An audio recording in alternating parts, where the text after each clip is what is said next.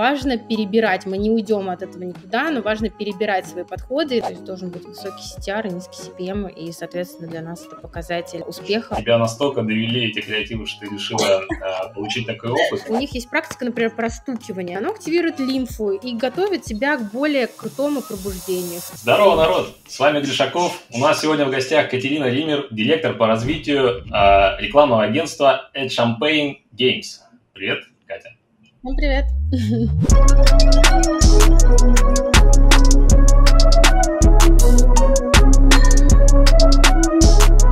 Сразу хочу рассказать, что как состоялось это интервью, это необычная история, потому что мой знакомый скинул ссылку на твой Reels в Инстаграме. Я его посмотрел, он оказался про геймдев, и оказалось, что ты занимаешься маркетингом э, в геймдеве, и еще плюс э, едешь в кунг-фу монастырь. Вот. Это оказалось нереальная смесь, я подумал, что нам обязательно стоит поговорить. А. Да, это, это, это очень классно. Как раз я уже вернулась, на самом деле, из Китая, из Шаулиня, из своей школы кунг-фу. И я подумала, что кунг-фу поездка это настолько крутой какой-то experience должен быть, и спойлер, так оно и оказалось, а, что я подумала, надо найти себе рилсмейкера для того, чтобы как-то этот момент смонтировать, запечатлеть. И я такая думаю, так, но перед, перед лагерем кунг-фу я еду до этого на White Nights, и, может быть, начать стоит пораньше.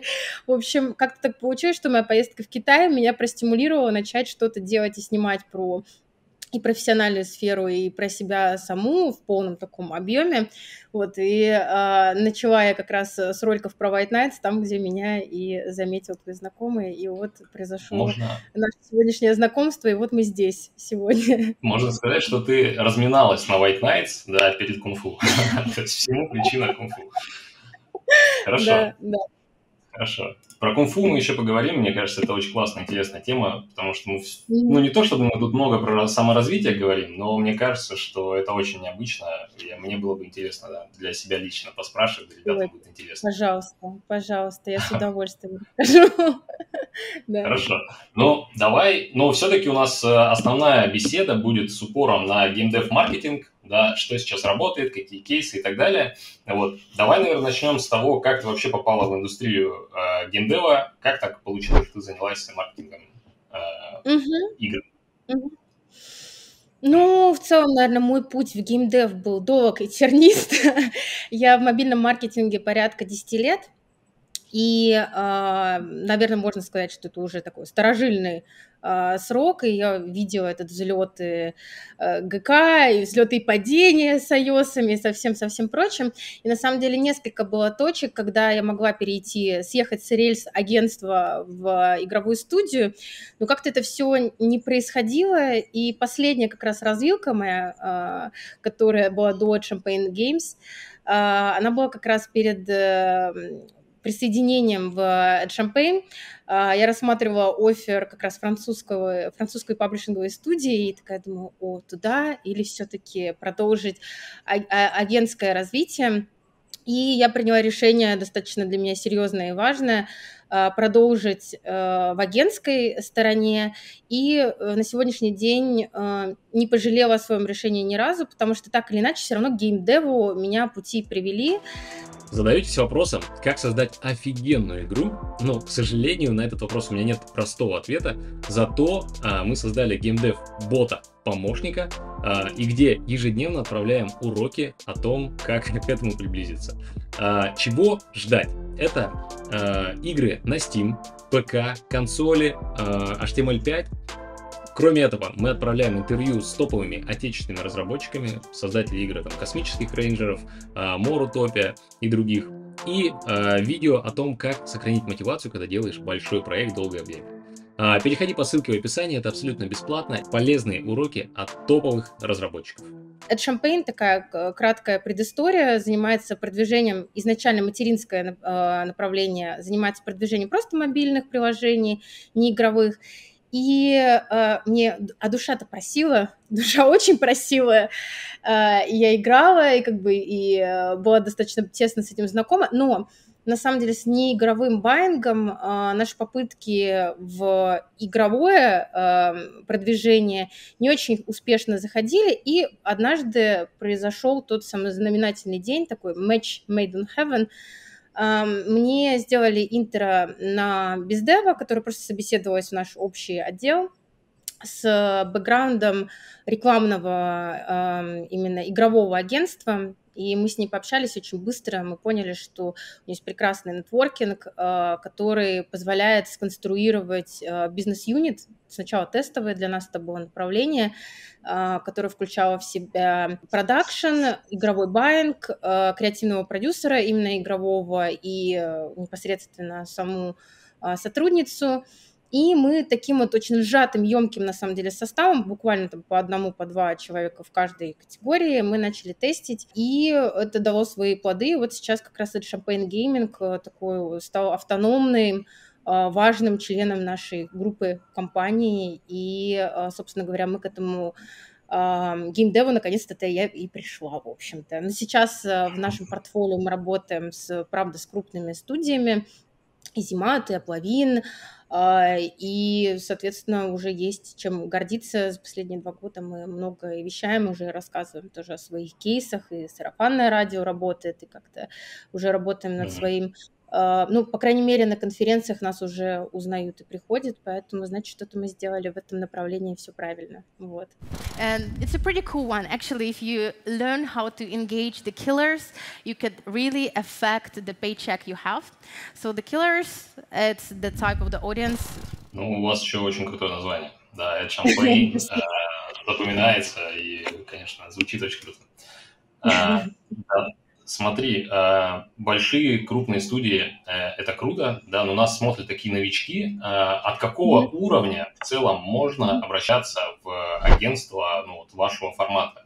Типа какой, как, какой, знаешь, какие KPI там, или не знаю, какой оборот или какой бюджет нужен? Mm-hmm. Mm-hmm. Ну, на самом деле здесь два эм, Два, две, наверное, вещи, два момента, на которые я бы обратила внимание для того, чтобы наше сотрудничество сложилось хорошо.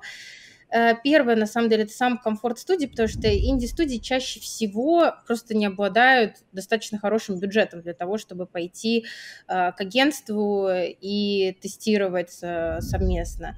Это первый момент. То есть как бы здесь даже не, не на нашей стороне э, обстоятельства. И второе, мы не работаем, наверное, а, с самим продуктом, что часто действительно необходимо и важно для студии. То есть те, кто выводит только что MVP-шку и тестирует на первых порах, а, мы не позиционируем себя как э, то агентство, которое предоставляет этот сервис.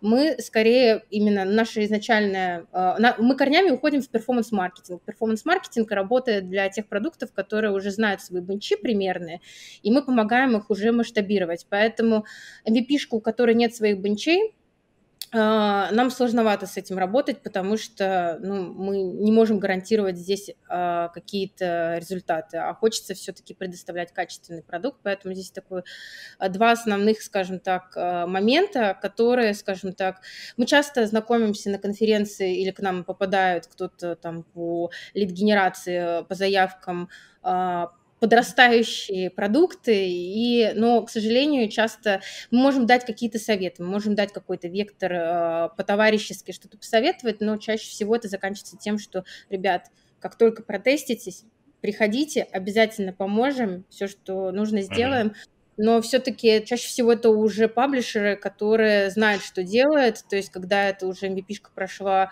ну, какой-то поверхностный хотя бы внутренний тест для того, чтобы ее уже скейлить. Вот, поэтому это наш является целевой клиент, но это не, скажем так, для нас, ну, все равно, мне кажется, sharing is caring, поэтому э, мы э, свою позицию там на рынке, когда мы вещаем, пишем какие-то статьи или рассказываем что-то на конференциях, мы всегда это адаптируем для индиков. Ну, то есть, например, наши действительно какие-то образовательные материалы, которыми мы делимся, они адаптированы, потому что есть действительно экспертиза, которая помогает.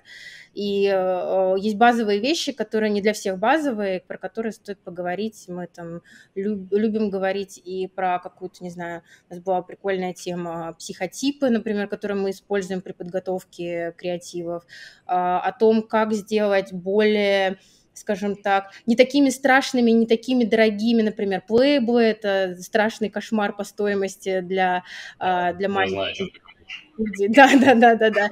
И вот мы как-то стараемся вот эти какие-то тревоги немножко разъяснить за счет своей экспертизы, и э, мы понимаем прекрасно, что, может быть, мы для этих начиная, ну, для этих студий еще пока что не партнер а в силу каких-то обстоятельств, но какие-то инструменты мы любим делиться и делимся для того, чтобы этого можно было уже в своей стратегии применить, попробовать э, такую какую-то, мне кажется, это важно э, нести на себе, помимо, помимо заработка, важно еще нести какую-то такую социальную, образовательную миссию в рынок, это всегда хорошо. Вот. Окей, okay. то есть э, перевожу на язык э, для инди-разработчиков. Нужно иметь какой-то стабильный бюджет в месяц, да, у вас там уже какие-то компании, и условно вы должны знать, э, э, какой бюджет вы можете потратить, да, какой, да. какая окупаемость у этого бюджета будет mm-hmm. и условно а, там на какой день, да, типа какого рост, какого да, дня да. там у вас, чтобы вы могли прийти в агентство и сказать, мне нужно покупать такие-то страны, да, с окупаемостью на такой-то день в таком-то проценте, и это, типа, если эти KPI мы выполняем, то это будет значить, что мы работаем в плюс, да, да и там да. условно зарабатываем все да. с этого. Да, да, да, да, Окей. да, да, все верно, все верно, да. Окей. С этим разобрались. Теперь как раз а, давай поговорим, как а, в целом а, начинается, с чего начать свои рекламные кампании. То есть с каких сетей, на ваш взгляд, сейчас лучше всего заходить, угу. ну вот стартовать? А, ну, это зависит тоже очень сильно, конечно, от стадии продукта. А, потому что продукты приходят к нам в самых разных своих стадиях. Это и сумасшедшие долгожители рынка, там, где уже выжжено все, и это продукт, который только что прошел стадию MVP, только выстрелил, его надо замасштабировать, и продукты в каком-то среднем своем лайфсайкле. Uh, Поэтому это, правда, очень сильно зависит. Я, наверное, расскажу немножко просто, как мы базово строим свою логику в медиапланировании. И на старте, безусловно, для определение тоже и уточнение и бенчей, и вообще, в принципе, на старте, конечно, мы не уйдем никуда а, от Гугла и Фейсбука, мы работаем а, с игровыми продуктами не на Россию, а по миру, это, соответственно, тир-1, а, чаще всего это ФБ Google, самый прекрасный функционал для старта, на самом деле, здесь э, пятого, колесо, пятого колеса еще никто не изобрел, и потом потихонечку мы начинаем добавлять э, разные источники. Э, э, прекрасно все с этим работает. Э, Unity, ChartBoost, Mintegra себя показывает хорошо. Аплавин очень э, по последней статистике неплохо растет. Э, по объему именно игрового трафика даже там наши партнеры типа Аптики, в общем-то, по последним своим репортам э, подтверждают, что вот именно за счет Inap достаточно сильно вырастают в последнее время. А, и, соответственно, если, ну вот если мы берем как раз вот средний цикл, то есть это уже ФБ, Google плюс активное использование ИНАПа, и здесь мы уже добавляем более разноплановые форматы по рекламе, если мы говорим, и, например, те же самые плейблы. Ну, то есть, например, э, ФБ при желании, он как бы у него есть функционал для запуска плейблов, но как бы это немножко костыльно, все-таки Unity для этого более, скажем так, э, хорошая специальная площадка, поэтому э, как бы здесь уже мы разыгрываемся в плане и большей свободы выбора форматов для креативов и так далее. TikTok, вот честно, для не, не всегда это работает на самом деле, то есть это неплохо для ГКшек, но в общем и целом они, у них есть хороший а, у них много есть хороших вещей, то есть действительно для ГК это есть success кейсы, для более сложных жанров, наверное, нет, на сегодняшний день, несмотря на то, что как бы развитие на этой площадке идет, а, но у них много своих там плюсов, э, которых, например, нет там на площадках типа Facebook, Google, типа суперского клиентского сервиса, например, в TikTok, э, что агентство, что клиент напрямую может прийти и сказать, вот у меня есть игра, пожалуйста, помогите, можете проанализировать ее, и прекрасная команда возьмет себе все, сделает аналитику, посмотрит по конкурирующим продуктам, они не будут будут э, сливать название, то есть, естественно, они очень трепетно относятся к NDA, но они а, посмотрят механики, а, дадут тебе в ручки инструменты для того, чтобы твой запуск был как можно более эффективным. Вот. И мне кажется, таких, а, скажем так, инструментов пока что другие площадки не то чтобы предоставляют. Поэтому TikTok здесь вот в этом направлении тоже можно отметить. В принципе, все, ну, как бы за мою, правда, долгую жизнь в продвижении геймингового и нон-геймингового через инфлюенсеров я мало видела success-кейсов, и, в принципе, я смотрела какие-то тоже чужие подкасты, там, чтобы быть в курсе всего. И, в общем-то, э, часто именно блогерский какой-то имидж, он классно работает на неигровые приложения, но вот с приложениями игровыми как таковой особо-то супер какой-то крутой истории и не вышло. Ну, то есть э, гораздо прикольнее, по-моему, и cost-effective инвестировать в live-action, в UGC, в каких-то набор актеров, которые прикольные какие-то скетчи сыграют, чем инвестировать в спонсорство под блогера, потому что, ну, даже там какой-нибудь PewDiePie делал свою игру, и, в принципе, где эта игра, вот, никто, мне кажется, они уже давно ничего не помнил и не, и не слышал. Ты говоришь о том, вот. что имеет смысл инвестировать блогеров в том плане, чтобы они записали а, видосик, mm-hmm. который вы да. порежете в креативы и на него закупать да. просто, да, то есть да, типа да, за счет да. лица блогера иметь, ну, условно, лучшую конверсию. Да, да, да. Да-да-да, это забустит. Э, если у тебя прикольная механика именно вот этого скетча, то э, какая-то паблисити этого блогера может помочь еще усилить сильнее. Но это не всегда обязательно. Иногда, на самом деле, просто крутой какой-то оригинальный заход именно в твоем UGC, э, он прекрасно и без поддержки блогера, если он цепляет аудиторию, работает и без этого, и, возможно, в чем смысл тогда этих дополнительных э, инвестиций. Вот, поэтому здесь мы видим, конечно же, тиктокизацию э, нашего сознания и потребления, потому что, естественно, мы сейчас наблюдаем и баннерную слепоту, и в какой-то степени, может быть, и даже видео слепоту, потому что нам э, пользователи становятся все более и более такие требовательные к тому, чтобы реклама их радовала, удивляла и вызывала какие-то эмоции, а просто рекламный ролик уже никому не нравится. Есть какой-то тренд на то, что должно происходить абсолютное безумие какое-то в креативе? Типа как, э, вот ты говоришь, удивить э, юзера? Что для этого делать? Нет, ну люди однозначно любят удивляться. Но вот если мы говорим прям про совсем безумие, ну, во-первых, э, совсем-совсем безумие, если оно кринжовое, не любят площадки, например. Ну, то есть, мне кажется, мы все видели эти сумасшедшие плейблы отвратительные, не будем говорить чьи, там со всякими, там, не знаю, вырванными волосами, там, и какой-то гадостью абсолютной.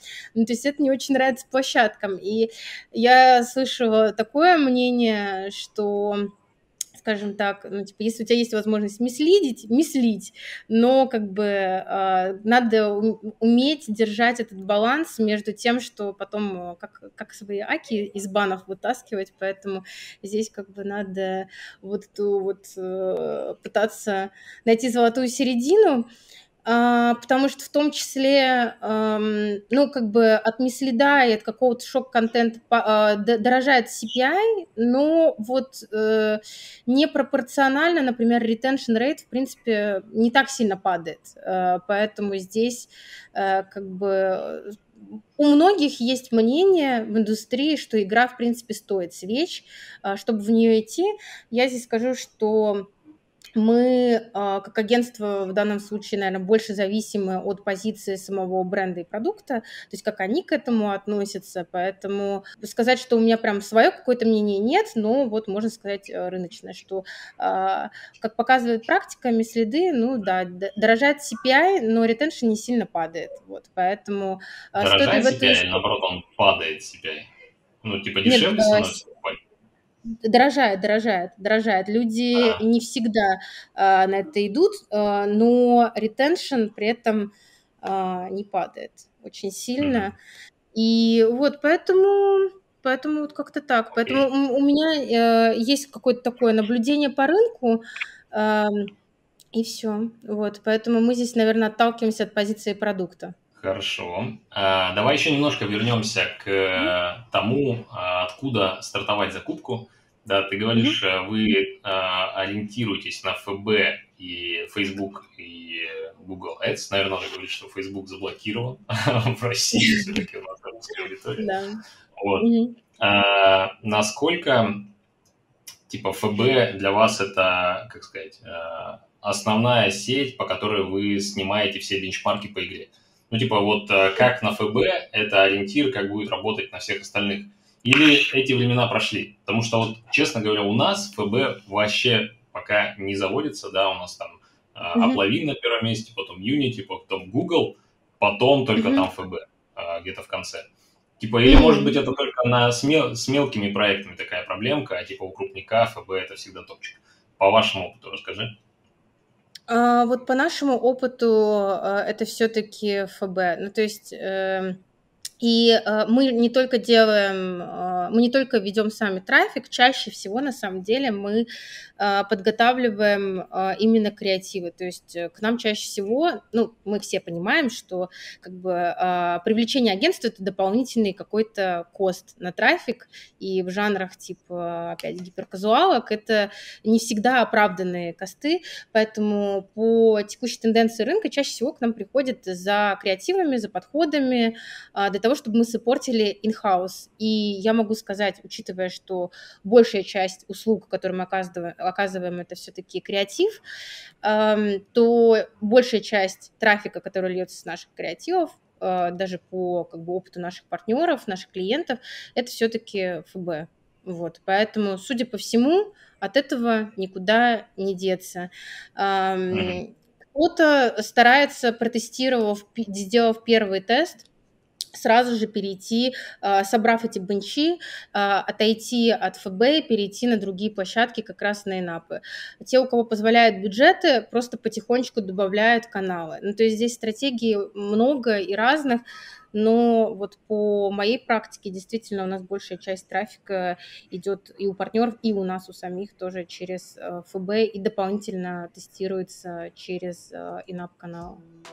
Я вам обещал, я свое слово сдержал. С 3 по 5 сентября мы проведем Game Dev Summit. Переходите по ссылочке в бота, а, там вся будет информация по датам, по видео. Не пропустите, это будет офигительно.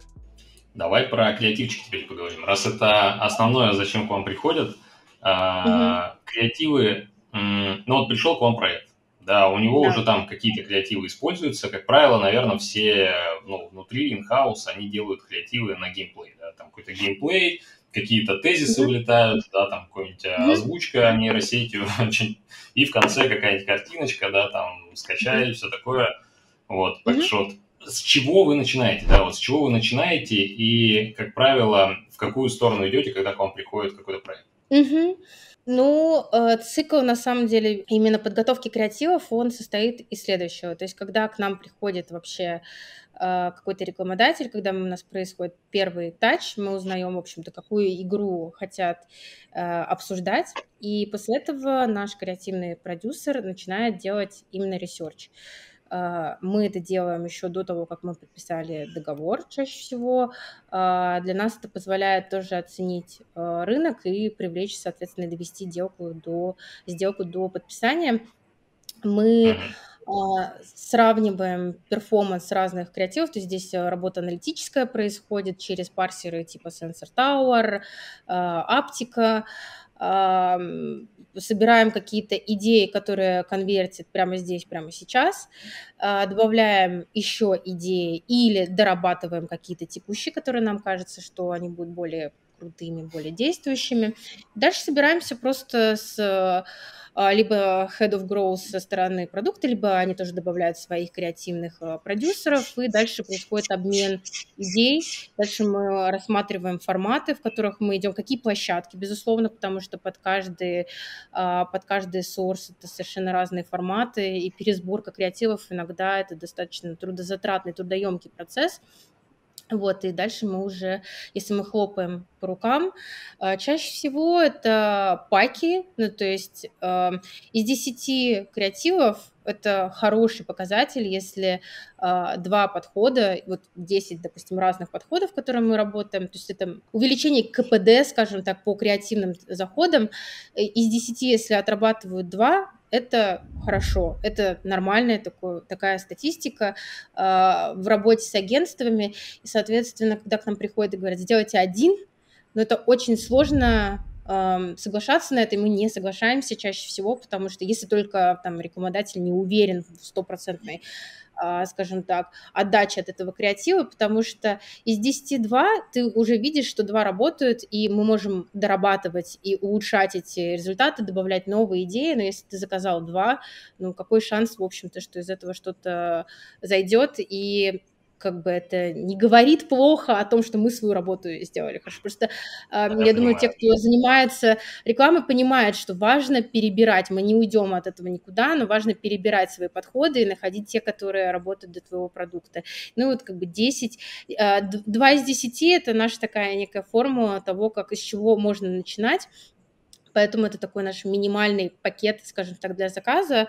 А в каком формате здесь уже мы согласуем совместно. Это видео 2D, 3D, Playable, что это, что угодно может быть. Ну, знаешь, что мне еще хотелось понять? А, вот приходят к вам, а, приходят к вам чуваки, да, у них есть уже mm-hmm. какие-то креативы, они что-то там отливают.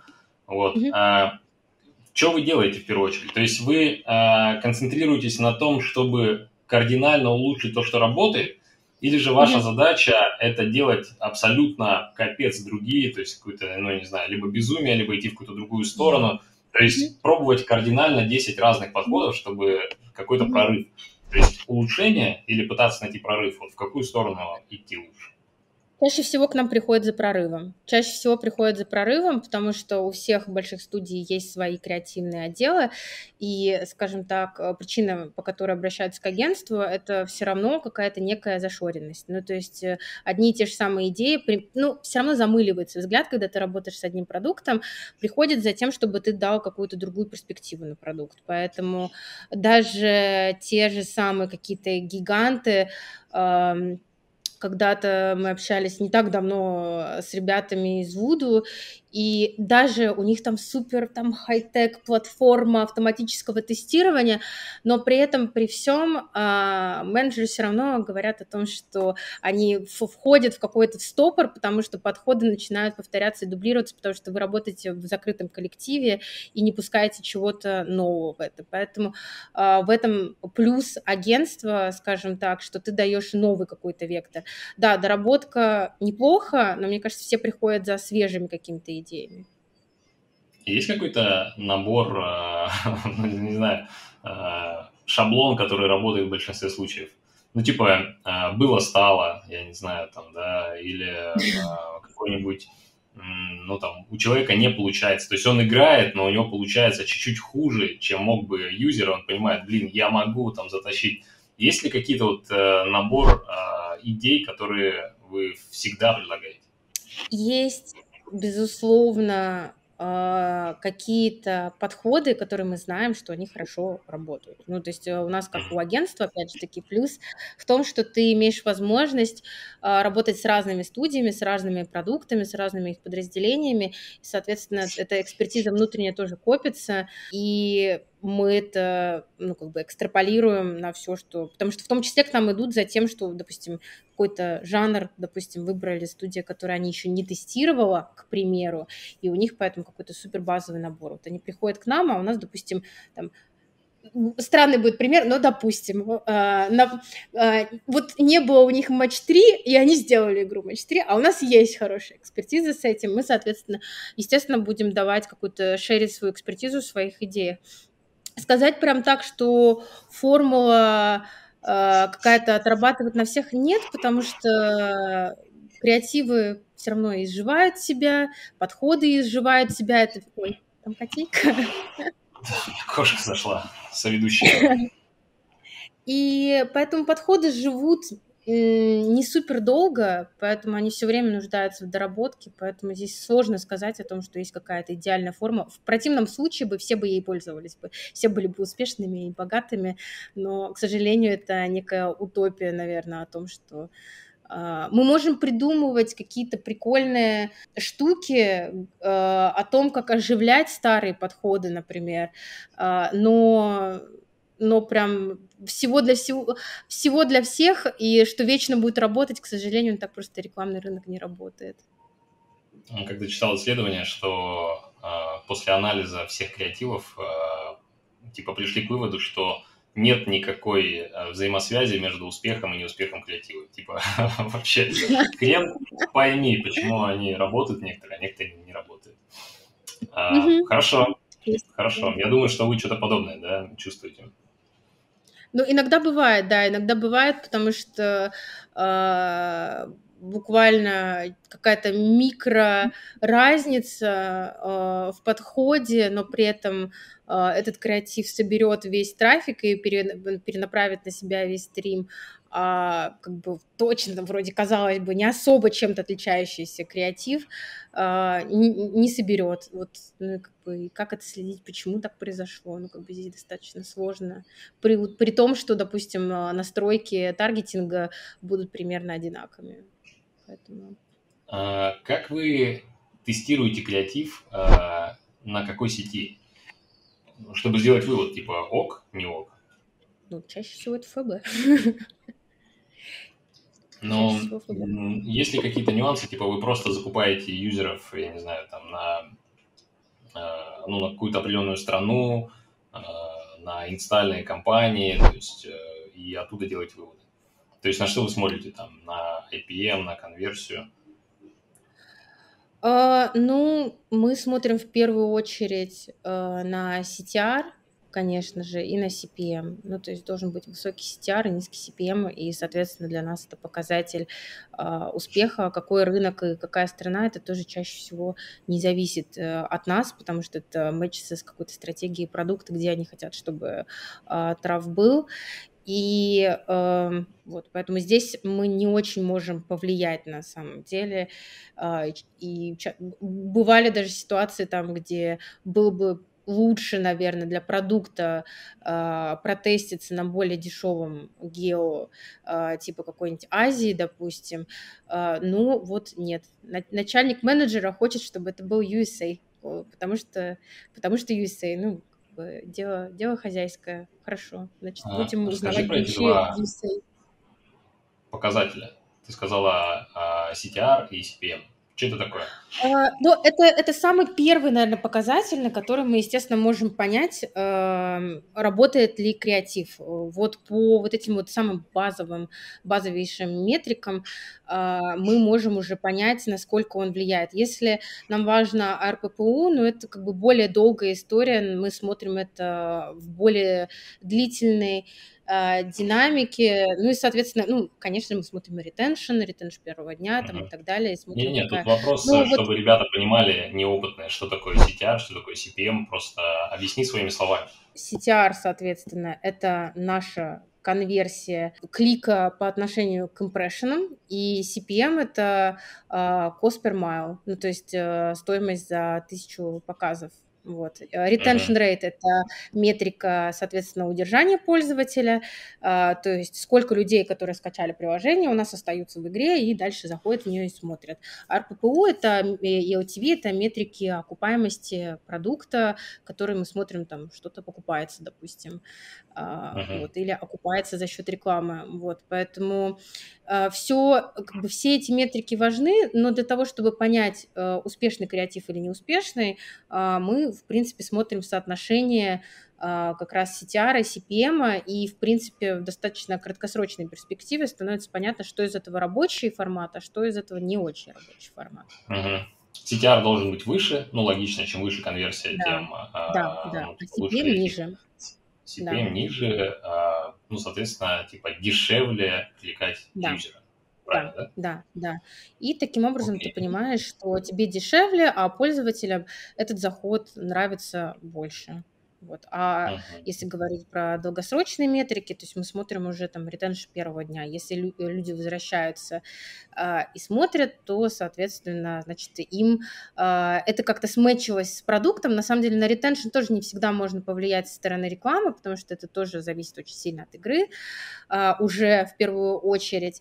Э, но э, какое-то все-таки воздействие есть. То есть если люди зашли и у них не случилось никакого разочарования, что они получили именно то, что они хотели по своему как бы, э, клику, то э, они остаются в продукте. Ну, если так простыми словами, это, то это примерно так. Так, надо. Супер. Хорошо. А, давай по какие-то по кейсам пройдемся. Над э, чем интересным работали, что интересного можете про это рассказать? Ну, не знаю, если ты можешь несколько примеров привести расскажи, а я бы позадавал вопросики.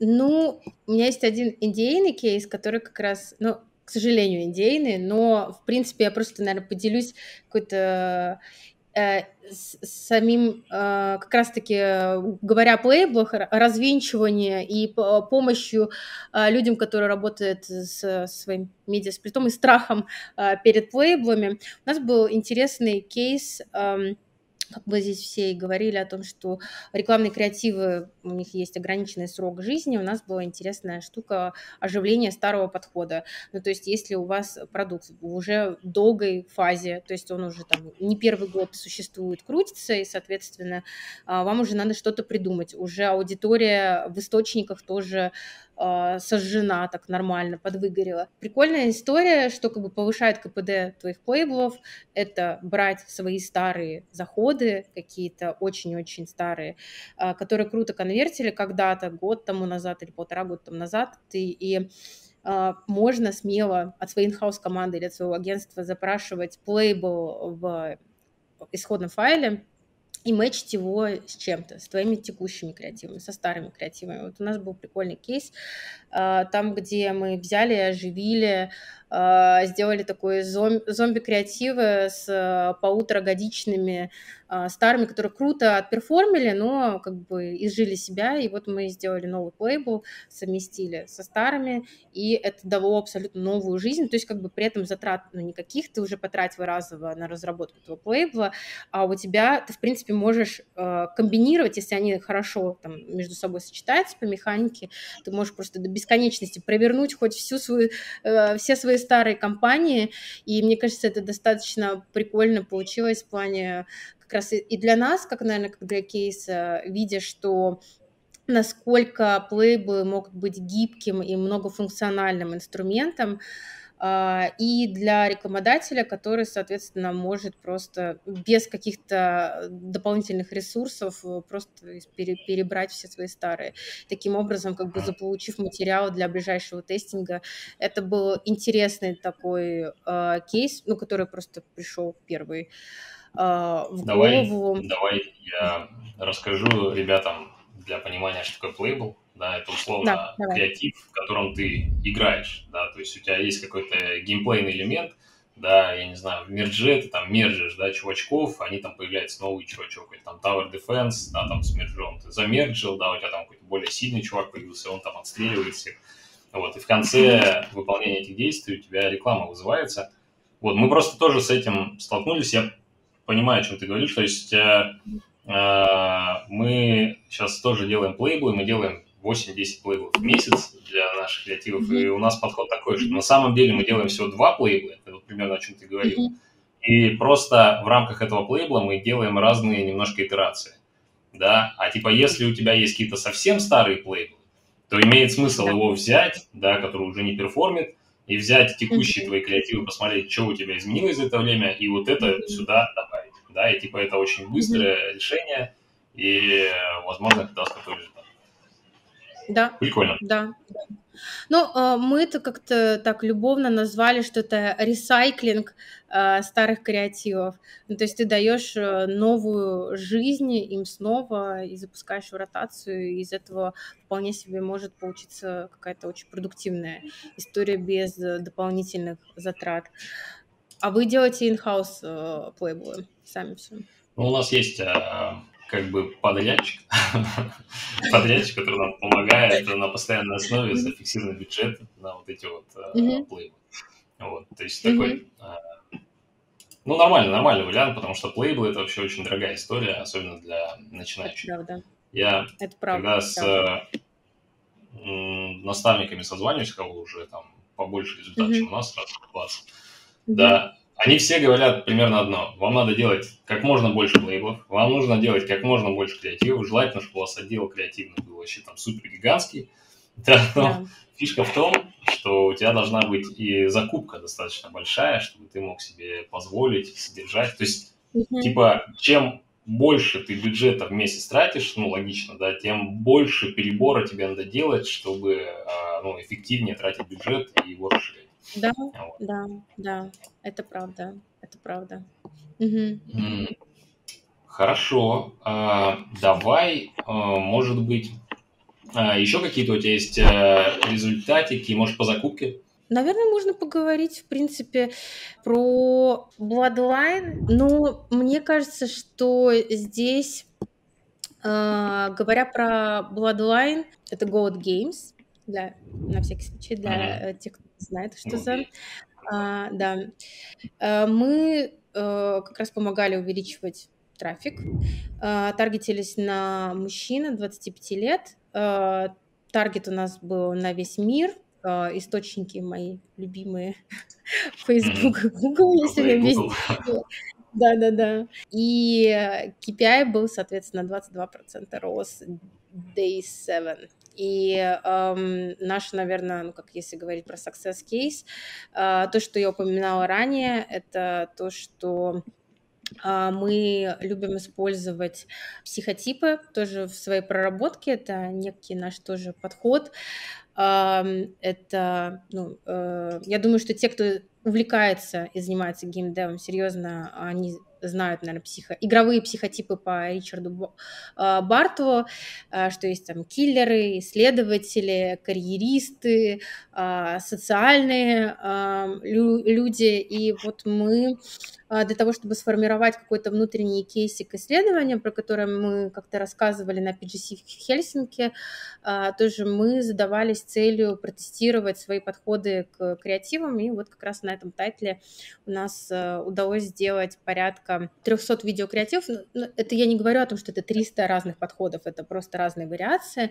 Но, тем не менее, мы вычленили э, две основные, скажем так, здесь группы. Это карьеристы и исследователи. И вот для карьеристов мы делали упор в креативах, как развитие геймплея приводит к быстрому прогрессу героя, повышению уровня, а исследователи больше погружали в какой-то в комплексный сюжет. А, и открывали какие-то новые локации для них, и это, собственно говоря, выполнило а, KPI, вот, поэтому мы, в принципе, забустили с добавлением вот этих подходов, мы забустили трафик э, на 28%, не меняя, в принципе, ничего особо в своих настройках, опять же таки, тот же самый таргетинг, те же самые мужчины, э, та же самая география, но вот, э, собственно говоря, по перформансу показалось, что эти подходы работают, и можно даже такую базовую абсолютно вещь тестировать и, и Понятное дело, что не надо этого в лоб прям вот брать, все, у нас только такие пользователи. Понятное дело, что это очень условная рекомендация, это очень условное разделение, но это интересно, это такой определенный, скажем так, вектор на подход к созданию креативов, он имеет место быть. А, мы, в принципе, даже это не только в игровой индустрии практикуем, мы это практикуем в том числе в, в подходе и с нон-гейминговыми продуктами, потому что, в, в принципе, эти психотипы, они существуют как бы на рынке в потреблении. А, то есть а, работая даже с другими направлениями, просто мобильными приложениями, ты тоже можешь понимать, а, какая реклама на кого а, воздействует. То есть э, есть те же самые люди, такие прям азартные в плане того, э, что для них нужна какая-то более ачивочная, геймифицированный подход, например. А есть люди, которые более а, выдумчивые, для них там что-то другое важно, другие приоритеты важны. Поэтому здесь интересный такой был момент, вот, и мы достаточно подробно рассказывали об этом на самых разных примерах, и вот как раз один из них был а, как раз Gold Games Bloodwine. Вот этому Ричарду а, Бартлу. Барт. Да. А, расскажи, ну просто на самом деле это очень прикольно. А, как э, определить, что у тебя за игроки играют? Там карьеристы, исследователи или там социальщики, mm-hmm. еще кто-то? Как все-таки, ну, это круто, что ну, типа, вот у меня есть игра, да, кто-то в нее играет, как мне понять, кто они такие? Угу.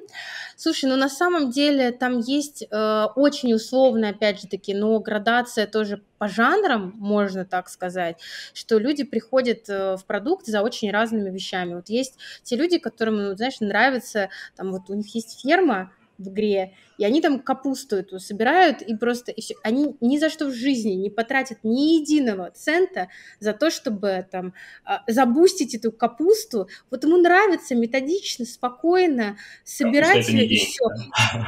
Да, да, да. Но при этом этот пользователь абсолютно спокойно будет смотреть все поп-ап, вот эти всплывающие рекламы, там, ради бога, он тебе наделает, например, вот в этом формате, в этом амплуа он тебе сделает кассу. А вот есть люди, например, которым а, важен соревновательный элемент, то есть э, именно э, гонки, например, как жанр в, эту историю входят э, карьеристам.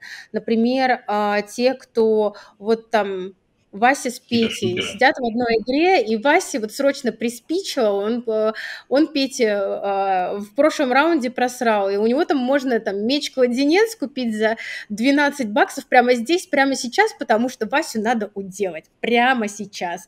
И вот как бы люди, ты как бы понимаешь, что есть да, есть взаимосвязь, что есть люди склонны к более импульсивным покупкам, есть э, люди склонны к менее импульсивным э, покупкам, есть люди, которые склонны приходить э, для социализации, то есть для тех, э, для кого там чат и э, это одна из самых главных целей. То есть люди, которые играют в Fortnite, не для того, чтобы там в этом кругу-то несчастном остаться, а для того, чтобы поорать на кого-то. Ну, то есть вот, mm. и поэтому э, здесь изучение своей аудитории, безусловно. Ты как бы разносишь, э, какая мотивация, что является цель, э, ну да, цель, э, что мотивирует твоих пользователей приходить в твой продукт и подбираешь под них э, подходящий, соответственно, а, материалы для рекламы, которые будут помогать им находить твой продукт и оставаться в игре. Есть... А, поэтому здесь тако, такая взаимосвязь, что ты изначально и изучаешь свою аудиторию, а, и подбираешь под них это. Вот. Ну, это правда очень интересно. Это практически никогда не существует в таком изолированном, стерильном виде. Это всегда какие-то смеси разных мотиваций. И, как я и сказала, действительно есть условное какое-то какое-то разделение по жанрам. Ну, то есть там РПГшки — это social и исследователи, то есть им нравится там проходить какие-то уровни, им нравится, э, если есть такая возможность, то общение какое-то. Э, есть те, для которых действительно надо качать ачивки как сумасшедшим, и, в общем-то, на основе этого уже можно как бы складывать свою какую-то стратегию, если хочется тестировать в этом векторе. Но это правда интересно, потому что реклама это, естественно, на стыке, на стыке психологии всегда с пользователем. Ну, как я это понимаю, а, можно почитать э, категоризацию, да, по этому да. А, Бартлу да. и просто подумать, какая, какие механики у тебя есть в игре, да. и, по крайней мере, а, сделать креативы под каждого из этих чуваков да, там под каждый да, из этих да. типов, и это будут да. просто вот те самые разные подходы, да, которые стреляют в ну, разную аудиторию, да. и типа посмотреть, какие из этих э, креативов будут перформить лучше, вот, и так да, лучше свою да. аудиторию. Абсолютно. Это же можно, наверное, и в комьюнити-менеджменте потом продвигать. Типа, если у тебя в основном исследователи, да, то ты должен говорить, там, ребята, мы скоро там запустим новый континент, да, там будет много всего да, для да, да, да, приключений. Прав. То есть, чем лучше у тебя какие-то креативы перформят, тем больше тебе надо про это говорить, наш народ Да, да, да. И там, правда, много очень разных э, нюансов. То есть, например, а, там э, есть у определенных групп, что они, например, более склонны вовлекать других новых пользователей. А, это как раз-таки социальщики, и они, например, могут э, позитивно очень влиять на рост там, органики, к примеру, и так далее. Это работа со своими комьюнити, это изучение своей а, целевой аудитории, это жутко интересно, это как бы и часть продуктового маркетинга, и именно и перформанс-маркетинга здесь в данном случае такое двойное. Как можно во всем этом безумном э, мире, да, когда ты создаешь разные вот эти иногда mm-hmm. кринжовые креативы, да, оставаться mm-hmm. спокойным человеком, да, в mm-hmm. гармонии с собой. Да, да, да. Как так получилось? То есть кунг-фу это стало результатом того, что ты занимаешься этой деятельностью, да, что тебя настолько довели эти креативы, что ты решила а, получить такой опыт, да, и, там, удариться в дзен, а, или как так вышло? Учитывая, что на самом деле перегруз – это достаточно частая история в нашей индустрии, как директор по развитию бизнеса с упором вот именно больше на коммерцию, и игровое направление наше не одно, а одно из поднаправлений, поэтому действительно информации очень много, а, потому что там, сколько я сегодня говорю про игры, столько же я могу говорить про не игры в том числе, и поэтому перегрузка, она гигантская. Это, этот объем, а, даже если ты уходишь от микрооперационки, даже если ты не общаешься с клиентами сам напрямую, даже если у тебя есть суперская команда, ты в этом варишься круглосуточно, потому что ну, ну, трафик, он не стоит на месте, рекламные кампании не стоят, у них нет выходных, а, у них нет праздников, и а, это мой осознанный выбор быть в этом э, потоке, и мне это часто нравится, но это учит одновременно тебя быть мобилизированным в любое время, в любом месте, но одновременно это не очень способствует тому, что ты можешь нормально находить work-life balance такой и расслабляться, и поэтому очень часто я люблю организовывать себе отпуски, в которых э, нет возможности вообще никакой э, выйти в интернет, потому что когда ты э, выходишь в интернет, когда ты едешь просто в комфортабельный отпуск и говоришь, ну, я еду в отпуск, все равно находятся люди, которые пишут, у тебя отпуск, но, и там вопросики. И настолько уже какая-то профессиональная деформация, что ты там сидишь в Париже в кафешке и такой, прекрасное место для звонка, отлично, включаю Zoom, погнали, интернет Хорошо. есть, не вижу никаких препятствий. Mm-hmm. Да, и поэтому это важно на самом деле для того, чтобы быть счастливым, спокойным и в балансе. Вот и периодически у меня есть такие практики. Это на самом деле в любом случае как-то э, переключение мне все из года в год лучше и лучше становится. Э, mm-hmm. Как-то я учусь менеджерить себя в плане отключения во время отпуска, но тем не менее, я просто помню, что это не первый мой нестандартный отпуск, э, я так скажу, поэтому а, я помню, когда лет семь тому назад я Новый год встречала а, на верхушке Тупкаля, это вершина, самая высокая точка Северной Африки, и я спустилась с горы числа пятого, и я открыла, у меня было 400 сообщений, я на секундочку напоминаю, это была российская компания, и у нас были официально вообще-то праздники новогодние. Но 5 mm-hmm. января у меня было 400 сообщений, и я такая просто как сумасшедшая начинала их проверять, потому что вот у меня там за неделю впервые появилась связь, а как же там мои источники, а как же там мои проекты. И но за то время, пока я была в походе, это прекрасно. Ты э, наедине с природой, э, весь такой в это все погруженный. Здесь эм, я понимала, что очень много, на самом деле, задач, и часто, а, несмотря на то, что а, летний сезон для многих компаний достаточно такой спокойный. Для нас это очень часто бывает неспокойный сезон. У нас есть э, вертикали, в которых э, лето это горячий достаточно сезон, э, пиковый по рекламе, поэтому не могу сказать, что у нас прям очень было спокойно и для отдыха. Я понимала, что мне надо немножко перезагрузиться, и я листала просто ТикТок и увидела ролик там, где а, какой-то парень рассказывает то, что «А знали ли вы, что можно поехать э, в Шаолинь и заниматься кунг-фу?» И я такая «Вот так вот, ТикТок». Не знаю. Да, да, да, да, да. Да, я про себя подумала, что ничего не знаю абсолютно, но очень интересно. И э, я считаю, что я очень продвинутый пользователь Гугла. Я очень быстро нашла, э, соответственно, контакты храма, написала им, и очень быстро все завертелось, потому что буквально на второй день мне пришло ответ положительный, что да, мы готовы принять вас, и, и все, я бегала и кричала, я еду в Шаолинь, и такая думаю, это что ж, мне теперь надо про отпуск всем сказать, визу сделать, и буквально через э, три недели я уже поехала, это было, правда, очень здорово. Эм, я думала, что Китай, это Китай, центральный, э, центральный Китай, э, Шаолинь и город Дэнькфэнь, и эм, в Китае, напомню, есть Firewall, это внутренний интернет. И я отчасти еще думала, что, возможно, будут какие-то проблемы с выходом во внешний интернет. На самом деле никаких проблем не было, но э, меня никто сильно не тревожил, и разница в часах как-то и все остальное позволило, в общем, мне прям полноценно отдаться э, такому отдыху, и можно на самом деле сказать, что это был отдых. Несмотря на то, что это было 7 часов э, тренировок каждый день, то есть это ты как на работу идешь тренироваться, э, через вот для людей, которые занимаются умственным трудом, интеллектуальным, 7 часов заниматься тренировками и не решать ничьи проблемы – это абсолютный отдых. Вот э, это расслабляет мозг моментально, потому что единственная твоя задача это просто быть и прийти. У них все очень это это э, кунг-фу придумали не сегодня и даже не вчера. У них все очень-очень разумно придумано для того, чтобы ты э, уставал, но не настолько, чтобы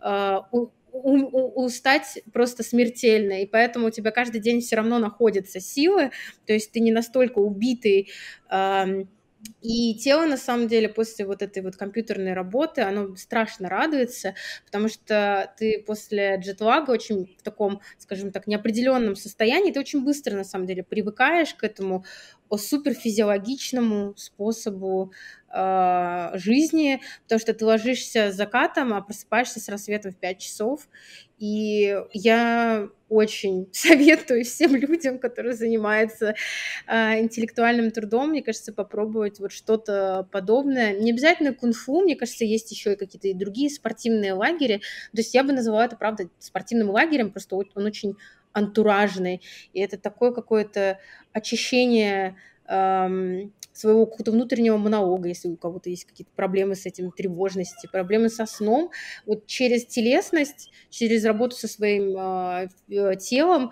э, прийти к какому-то, правда, более крутому, сбалансированному, отдохнувшему в голове состоянию.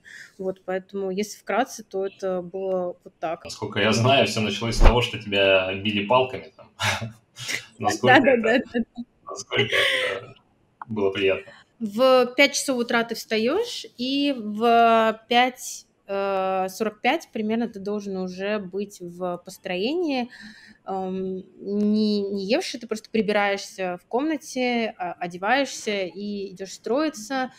Были какие-то постоянные вещи, которые вы делали в течение э, всех дней, то есть это бег несколько раз в день, это растяжки, это цигун по утрам, только потом завтрак, и потом э, расписание каждый день менялось, э, потом были самые разные там, тренировки от акробатики, э, спарринг, боксу, обучение разным стилям кунг-фу, обучение форм, а, то, что а, мы знаем все, я думаю, что как стиль Богомолова там и так далее, они называют это формы, вот, и ты учишь их, и на самом деле, а, ну, помимо э, крутой динамики, то, что ты все время в движении, еще приходит какое-то осознание этой красоты, э, того, что когда ты учишь эту форму, она содержит как бы э, элементы боевого искусства, но мало выучить просто последовательность действий.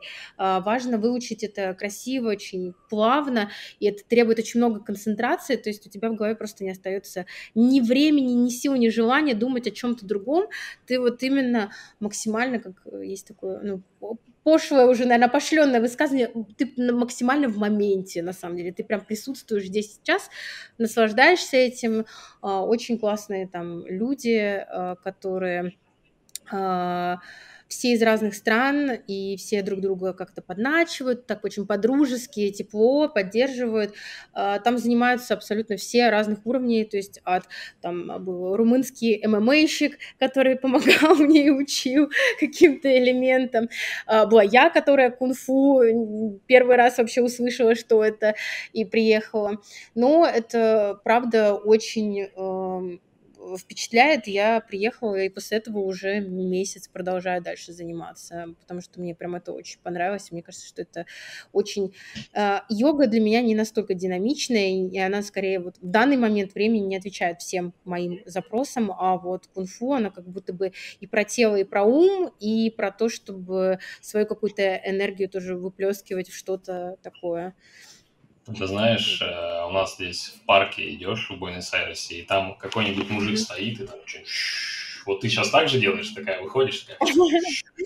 Цигун, это цигун. А, это более плавная история. Да, да, да, да, да. Цигун, он тоже содержит, как бы это часть э, вот этой всей группы разных э, дисциплин, цигун, он тоже содержит э, какие-то э, элементы, но он более все-таки созидательный, там тоже есть формы, которые ты учишь, но это больше считается как э, гимнастика и работа со своей внутренней энергией чи. Вот так я тебе отвечу. Но, а, ты понимаешь, я человек не самый спиритуальный, я бы так сказала, что как бы, конечно, удивительно после моего рассказа, что я ехала там в центр Китая, в монастырь, но а, я на это смотрю больше с практической точки зрения, а, и здесь э, во всем этом, э, как и в, во многих каких-то старых, э, каких-то традиционных методиках, есть на самом деле супер практический смысл. Вот ты занимаешься э, вечером или утром цигуном, и у них есть практика, например, простукивания. Вот это простукивание, оно активирует лимфу и готовит тебя к более крутому пробуждению. Имеет смысл? Абсолютно имеет смысл. Ты такой бодрый и свежий после этой утренней гимнастики.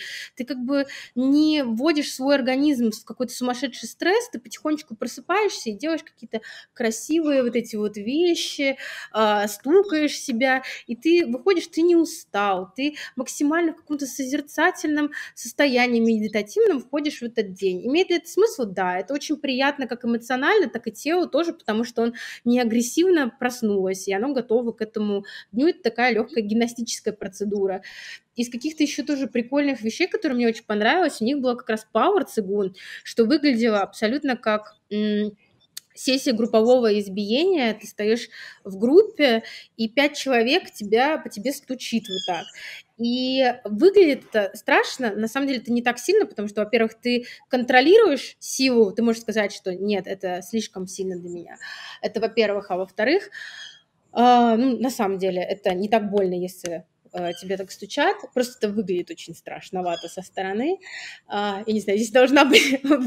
В смонтированном видео здесь должна быть вставка из моего рилса, там, где меня ногами бьют.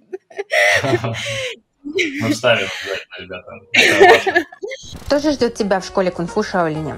Интеграция в обучение происходит буквально за два часа. Ты отдаешь медицинскую справку, привезенную из дома, подписываешь договор, тебе выдают кимоно и постельное белье тебя отправляют обучаться. Правило первое. Быть всегда вовремя и следовать графику. Быть вовремя по-шаолински – это быть на 10 минут заранее. В день минимум 7 часов тренировок. Нас обучали 4 разных учителя, которых мы называли шифу. День начинается в 5 утра, а дальше бег, растяжка, боксинг, санда, кунг-фу, акробатика, спарринг, цигун, тренировка с оружием. После ужина снова не время отдыхать. Вы занимаетесь китайским языком или культурой. В свободное время, если есть силы, то ты тренируешься, если нет сил, ты спишь. Правило номер два. Чистота. Соблюдение порядка контролируется. Существует проверка порядка комнат, ответственность за уборку, двора, дармиториев и выдачи еды. Правило номер три. Для безделия и опозданий здесь просто нет места. Нарушаешь правила, отжимаешься, бегаешь или делаешь стойку мабу.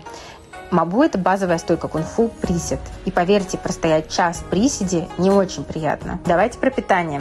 Питание сбалансированное, но не изысканное. Тофу, масса тушеных овощей, курица на пару, рис, рис, еще раз рис, берешь тарелку еду, доедаешь все. Здесь я нашла друзей, с которыми мы путешествовали по выходным. Создается атмосфера детского спортивного лагеря. Поездка прошла, мне было очень грустно, только привыкаешь к подобному темпу и лайфстайлу, а уже пора уезжать.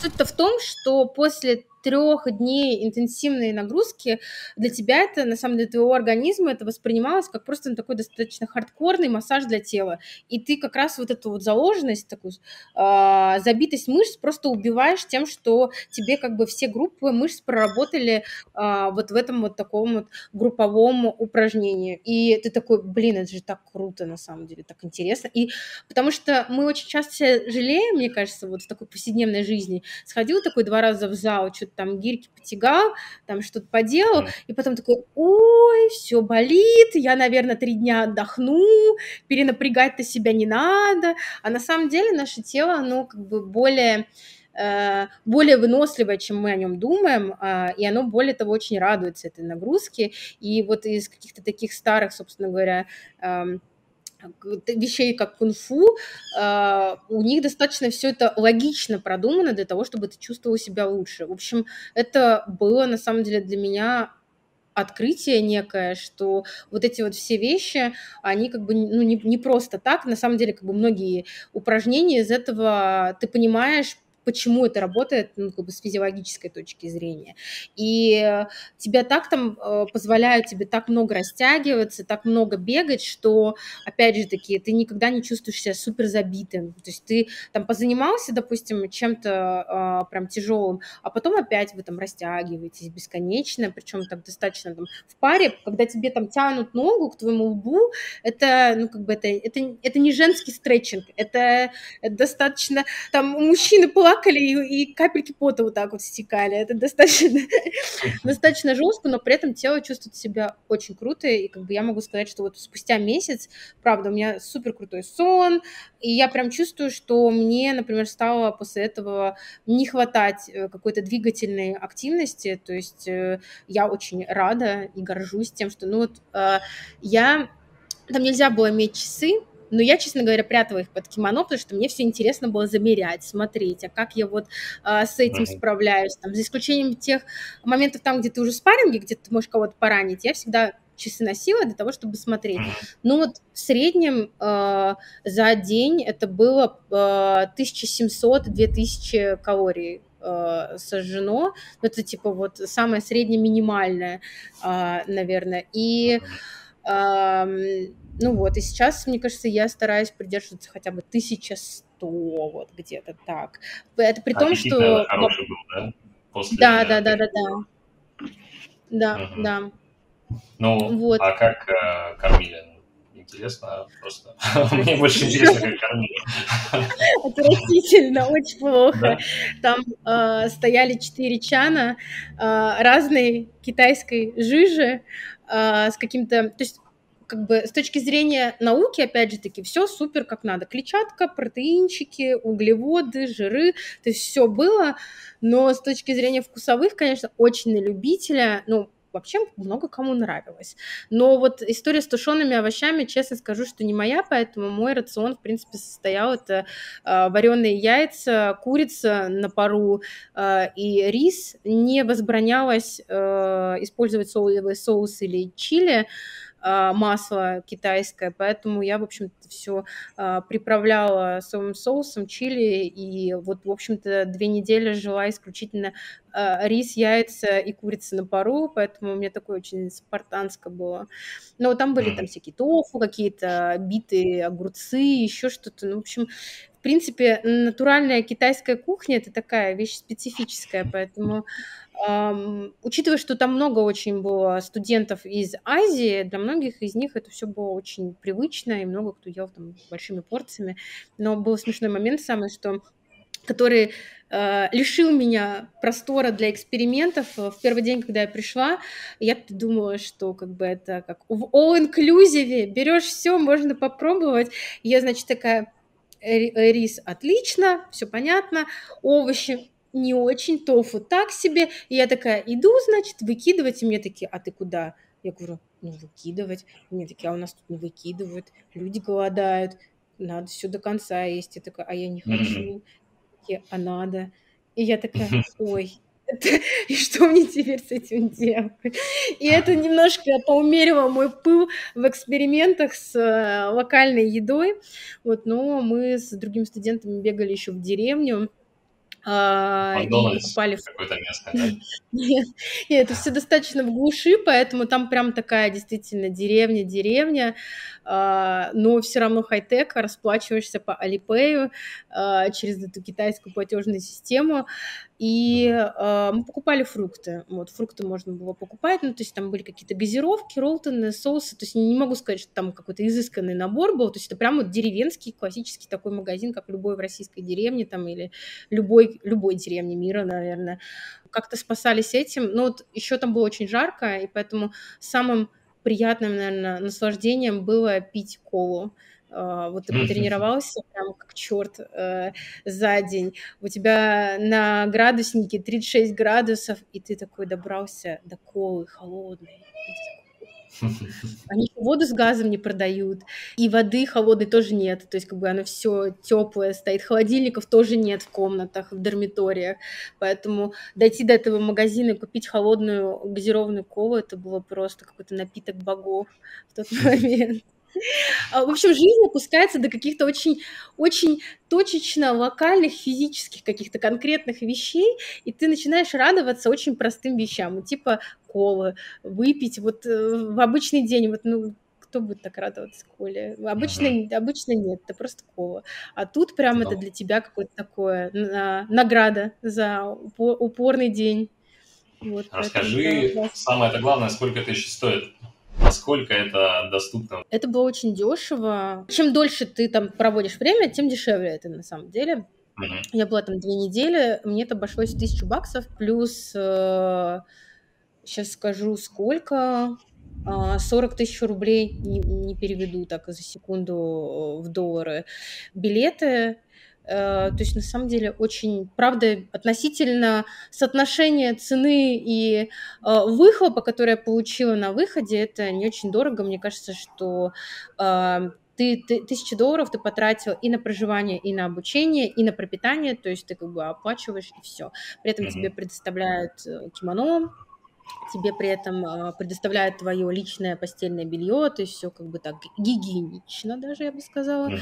Вот, и, и все это тренишь там. Ну, это, правда, не очень, а, не Прикольно. очень, мне кажется, какая-то неподъемная, да. Ну, и если ты останавливаешься дольше, а там часть э, студентов и на месяц, и на два, и на три, а то и на год останавливается, то, соответственно, это все дешевле становится. Вот, mm-hmm. поэтому... То есть, действительно, есть вот те самые чуваки, которые там отвергли все земное и уехали там жить.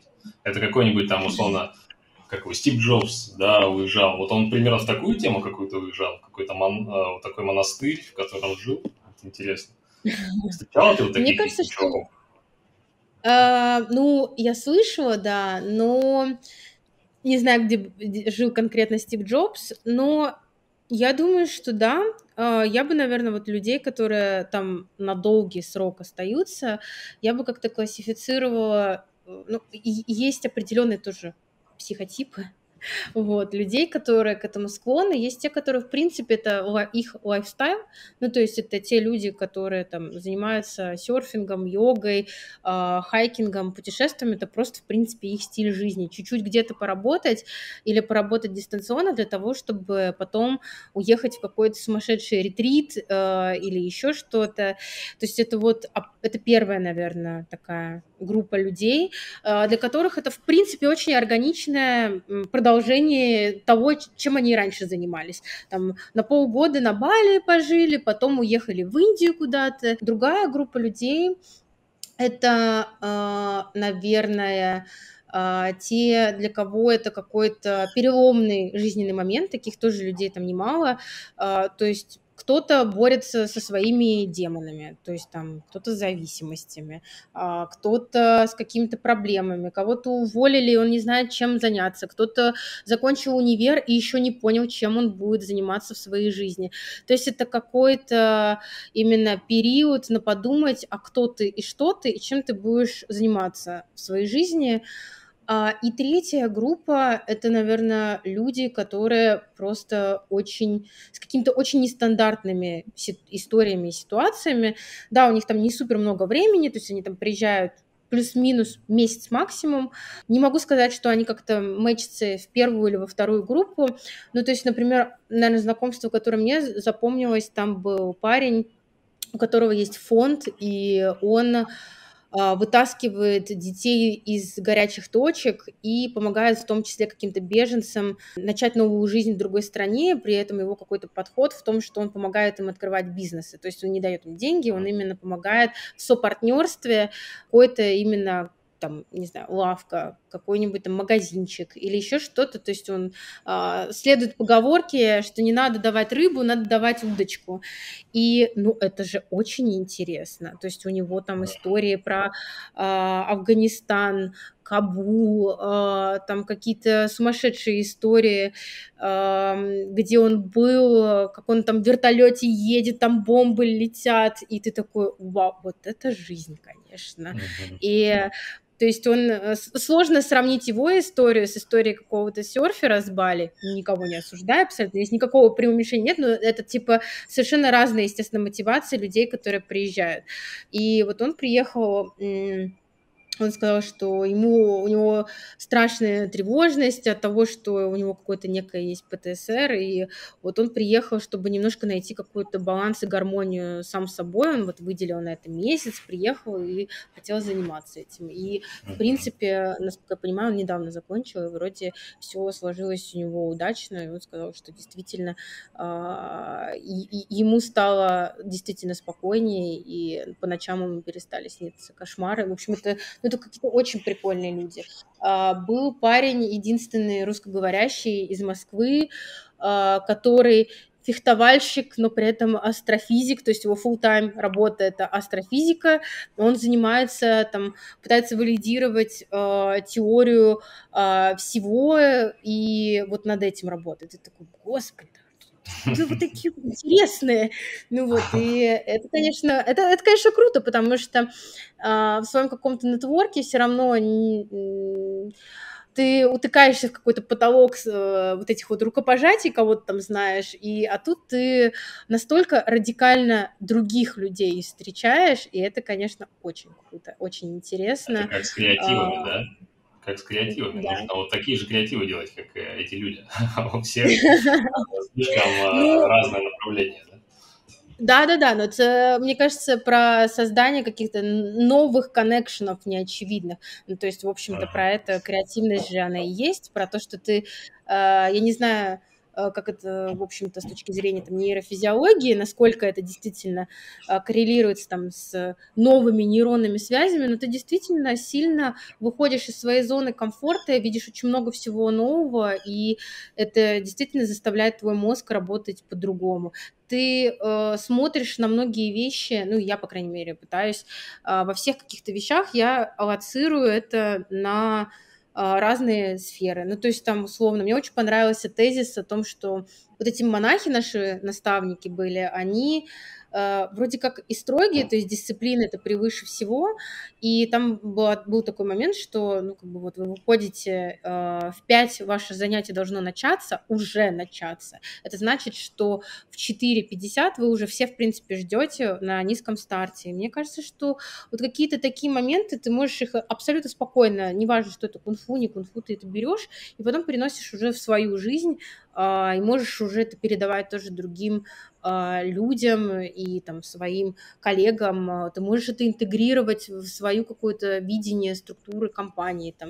А, я когда поехала в серф-лагерь, я потом, мне кажется, еще очень долго болела идеей того, что серфинг — это ты должен поймать баланс но как бы ты должен расслабиться, но не настолько, чтобы упасть. Ты должен быть сконцентрирован, но не настолько, чтобы быть в зажиме. И это же, ну, действительно прикольно в плане того, что это не только отношение к физически, как к спорту, но это, в принципе, надо ко многим процессам относиться похожим. Ты должен быть собран и сконцентрирован, но не расхлябан. Ты должен быть как бы такой а, в бодром состоянии. Mm-hmm. Вот мне кажется, это прикольно делать такие интересные коннекшены между совершенно вроде как разными занятиями, но это все равно все влияет. Вот поэтому, мне кажется, Джобс тоже куда-то там ездил, и многие люди, а, мне кажется, мы видим тренд у C-левела заниматься там триатлонами, сумасшедшими какими-то забегами, потому что через телесность, через какие-то разные какие-то активности э, действительно приходит какой-то и баланс с самим собой, и в том числе какие-то идеи, которые ты можешь экстраполировать, в том числе на свой бизнес. Полностью понимаю, о чем ты. Это о том, что через эти вот э, испытания ты это потом переносишь на свою реальную жизнь, да, и там, ну, условно, становишься более терпеливым, например, да, и наоборот, да. там, э, короче, какие-то свои внутренние да. штуки развиваешь. Да, так что, да, получается, да. слушатели, да, кто нас смотрит, э, в следующий раз лучше не ехать не в Турцию, да, за тот же бюджет можно реально поселиться в Шаулинском монастыре и позаниматься кунг-фу. Ну, и как будто бы это будет, знаешь, мне, я придерживаюсь такого мнения, что важно именно вписываться в такие движухи, память о которых у тебя не сотрется, знаешь, там, с годами. То есть вот какие-то маленькие, даже если моменты, но ты про них будешь вспоминать там бесконечно долго, и вот за это, ну, как бы не жалко потратить деньги. Вот как будто это как да. раз тот самый момент, да, который ты всегда будешь вспоминать там, своим там внучкам, внукам будешь рассказывать. А твоя бабка в Шаулинском монастыре жила. Да. Ну, я здесь с тобой полностью согласна. И мне кажется, что просто это, это не моя мысль, но она мне очень понравилась, что путешествия, они э, продлевают нам жизнь. Ну, то есть э, почему нам кажется с возрастом, что дни бегут очень быстро? Потому что мы делаем одни и те же самые повторяющие действия. Ну, то есть как бы для нас уже рутина нашего дня, она одна и та же, поэтому она для нашего мозга достаточно быстро съедается. Когда мы заполняем э, наши поездки, ну или, в принципе, нашу жизнь какими-то новыми впечатлениями, то есть очень неординарными какими-то действиями, эм, это воспринимается как вот целая жизнь, как целое приключение какое-то. И таким образом а, в какой-то степени вот такие experience ы, они как бы продлевают твое психологическое восприятие времени. Мне кажется, это очень круто. Вот, поэтому мне кажется, что если, если мы хотим а, делать свою жизнь долгой и насыщенной, то это, это не обязательно должен быть Шаолинь, но это может быть что-то каждый раз а, разное, не знаю. Мне кажется, что даже поход, не знаю, там, на керамику, батуты, скалолазание, столько много вещей можно придумать даже рядом с собой а, для того, чтобы сделать свой день неожиданно наполненным чем-то радикально новым. Супер, супер завершение, я считаю. У нас э, есть стандартный вопрос про несколько советов начинающим, но я предлагаю его даже отменить, потому что вот этот вывод, э, мне кажется, он как раз э, такой обобщающий наш разговор. Очень хорошее завершение. Согласна. Такое очень жизнеутверждающее у нас концовка. Хорошо. Спасибо. Спасибо. Спасибо большое за разговор. А, было, мне кажется, очень полезно и с точки зрения геймдева, и с точки зрения жизни. Вот. Поэтому, ребят, если у вас еще какие-то вопросы остались, а, пишите в комментариях, да, поотвечаем, а, скину ссылочку тебе, Катя, если будет время, тоже, чтобы ты зашла, поотвечала ребятам вот, по рекламе, спрашивайте по жизни, да, по серф-кемпам, по шаулинским вот этим всем историям. Спасибо. Спасибо, Спасибо большое. Да. Все, с вами был Гришаков. Всем пока-пока.